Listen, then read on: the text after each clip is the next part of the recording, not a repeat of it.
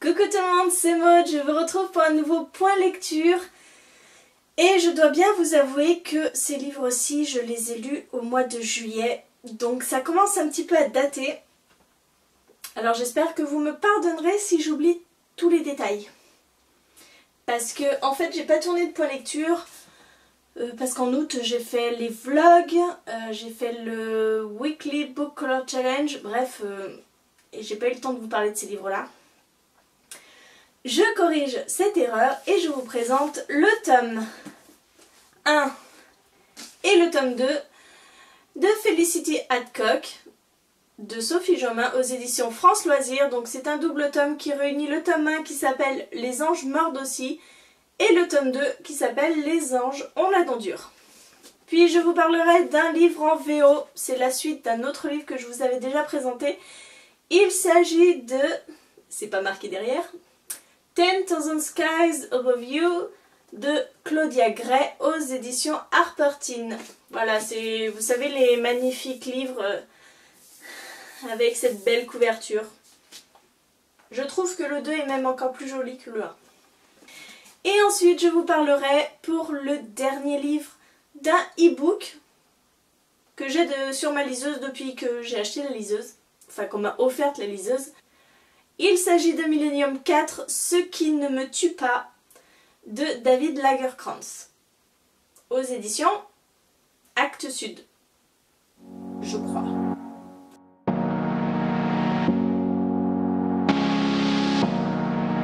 Alors on commence sans plus tarder par le premier tome de Felicity Hadcock. Dans le premier tome, nous suivons euh, Felicity Hadcock, qui est une jeune femme euh, assez normale. Elle travaille euh, dans un magasin de chocolat, je crois, ou une boulangerie.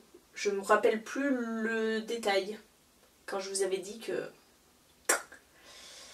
Et comme elle le dit elle-même, elle a beaucoup, beaucoup, beaucoup de mal à dire non. Donc, lorsque une de ses collègues l'appelle euh, en plein milieu de la soirée pour lui dire qu'elle a un rendez-vous très urgent à Londres, je crois,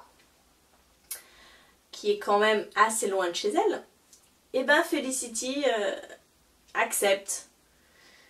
Et cette collègue va la traîner dans un club où elle a son rencard. Et malheureusement, Felicity en fait va se réveiller le lendemain sans trop se rappeler de ce qui s'est passé à cette soirée. Un petit peu nue, dans une chambre d'hôtel.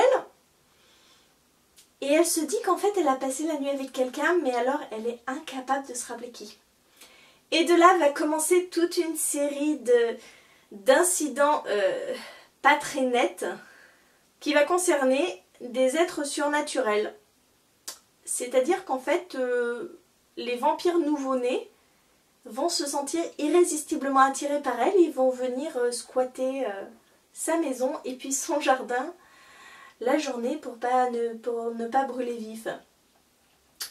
Donc voilà, c'est une situation assez cocasse pour le départ. Et on va apprendre pas mal de choses. Il y a forcément des anges puisque c'est un petit peu euh, le principe. J'ai bien aimé ce premier tome. Euh, j'ai trouvé qu'il était quand même euh, pas forcément très original puisqu'on est quand même dans, de la bitlit classique avec une héroïne qui se retrouve un petit peu au milieu d'incidents surnaturel, de beaux mecs forcément qui se battent pour elle.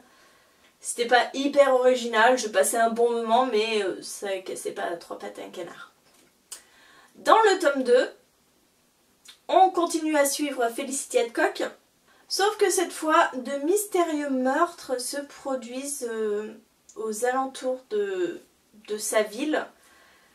Des hommes sont un petit peu déchiquetés, et ici, nous allons rencontrer une nouvelle espèce surnaturelle. Donc voilà, on connaissait les vampires, on connaissait les anges. Maintenant, on passe encore à autre chose.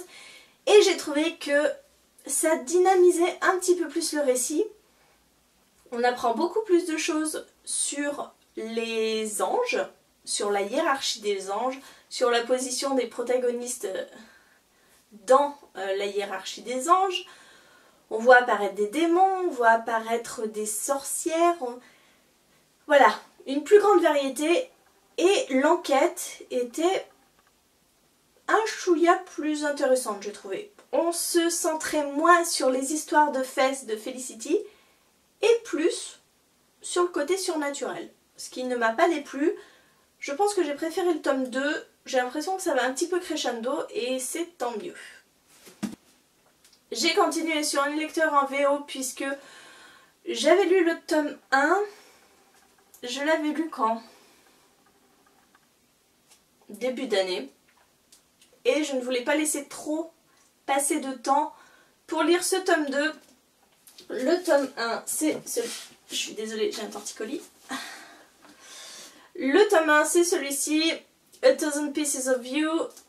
Hop, le tome 2, c'est celui-ci. Le tome 3, normalement, sort en novembre. Donc j'ai hâte. Ici, nous sommes dans une histoire d'univers parallèle. C'est ce que j'avais trouvé hyper original avec le tome 1. Donc dans le tome 1, nous suivions Marguerite qui part à la chasse euh, du tueur présumé de son père, qui était un de ses assistants, puisque ses parents en fait sont de grands scientifiques qui ont inventé un objet, le Firebird, capable d'envoyer les personnes dans des univers parallèles. Donc son père se fait tuer, on suppose que c'est Paul Markov, donc l'assistant qui a fait le coup et qui s'est enfui avec le Firebird pour échapper à la police et échapper à toutes les conséquences qui en découlaient. Marguerite avec l'autre assistant, Théo, se lance donc à la poursuite de Paul et n'a qu'un objectif, c'est de le tuer pour se venger. Vous vous doutez bien que c'est bien plus compliqué que ça. Dans ce tome 2, nous nous retrouvons quelques temps après le tome 1 et c'est ce qui m'a un peu perdu parce que on commence dans une situation, on ne sait pas du tout ce qu'elle est cette situation parce qu'on ne comprend rien. Je dois vous avouer au début je n'ai rien capté et en fait on se rend compte que cette situation s'est passée quelques semaines après. On revient avant pour savoir comment on en est arrivé là. Et euh, c'est pareil, on voyage dans pas mal d'univers Là, il s'agit d'une sorte de quête puisque l'un des personnages a vu son âme fragmentée en 4 ou 5 morceaux. Je vous dis les détails, je sais plus.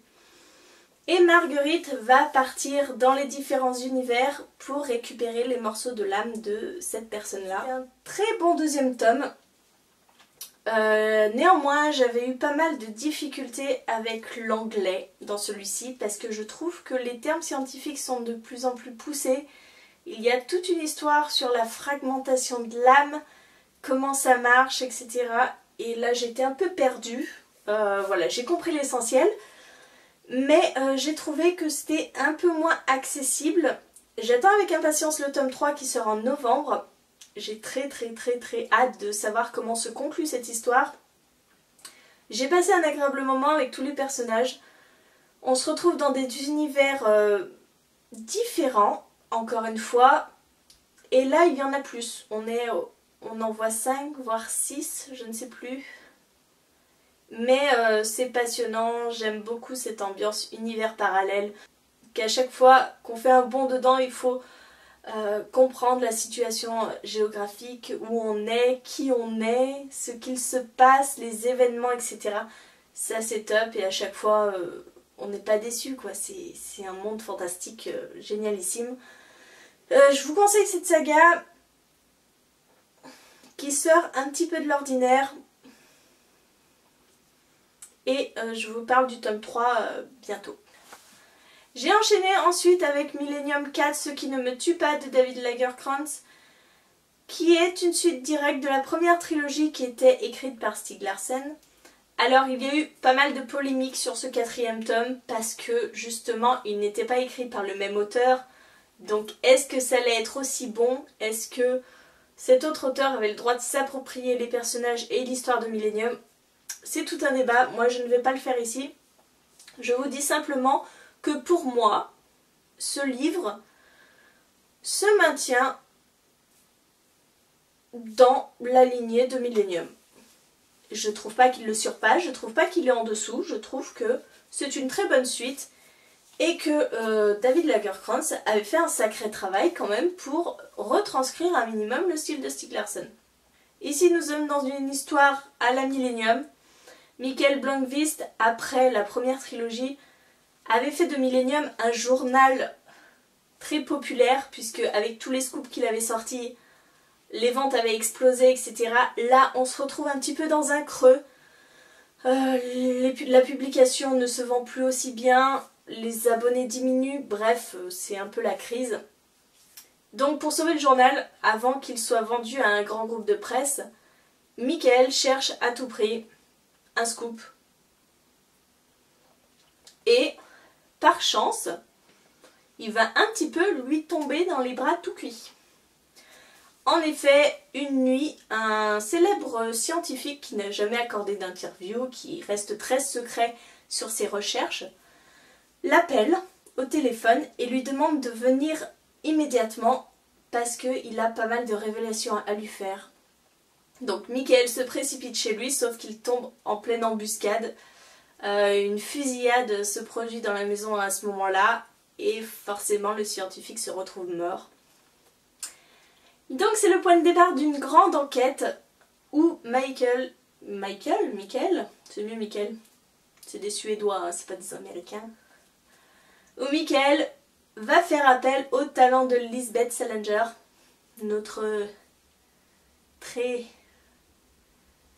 étrange Lisbeth. Euh, voilà, toute une histoire de train.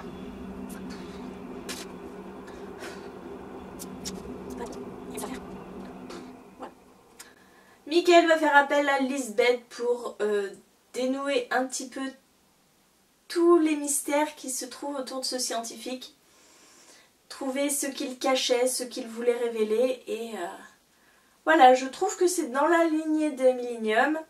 On retrouve les personnages que l'on connaît et que l'on aime. Euh, le style est quand même assez similaire à celui de Stieg Larsson puisque c'était une écriture assez lente, euh, très descriptive et j'ai trouvé qu'on se retrouvait j'ai trouvé qu'on se retrouvait. Ça fait beaucoup de trouver là-dedans. Euh, bref, j'ai trouvé ça assez similaire et dans la lignée de Millennium.